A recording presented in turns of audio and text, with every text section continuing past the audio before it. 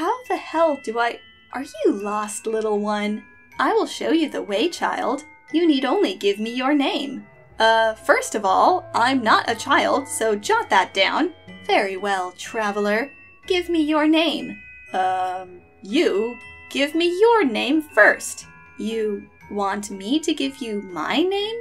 You want my name? Give me yours. Trade. Trade? Oh, haha, yes, of course. What a charmer. Under the twilight star, the entire forest shall bear witness to our union. Until then, my newly betrothed. What?